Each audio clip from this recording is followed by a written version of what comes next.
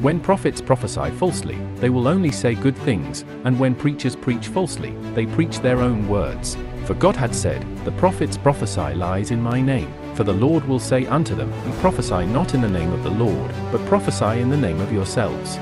Preach not in the name of the Lord, but preach in the name of yourselves. For the prophets are possessed with spirits of divination that cannot speak the truth. They say the Lord sent them, but they tell the unsaved they shall have peace, and they bring joy to hypocrites, and evil men and women. This should be a sign to everyone that they are false.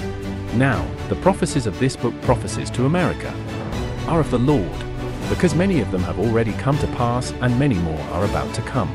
What you would find in this book, Prophecies to America, are things that are not only good but are also bad, things that have come to pass and things that are about to come to pass. Order the book today and find out what has already happened and what is about to happen.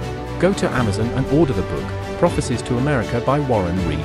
Go to Amazon and order the book, Prophecies to America by Warren Reed.